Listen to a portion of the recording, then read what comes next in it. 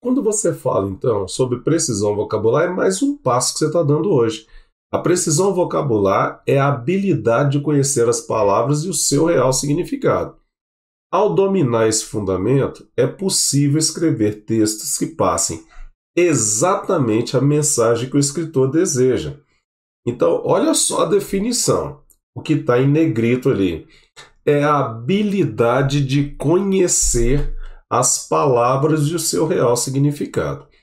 Então, nas redações, você às vezes vê o aluno usando lá através, né?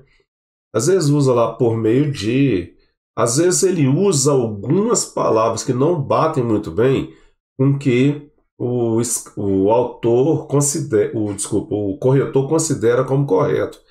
E aí, quando ele escreve, na cabeça dele ficou bonito, mas não dá certo.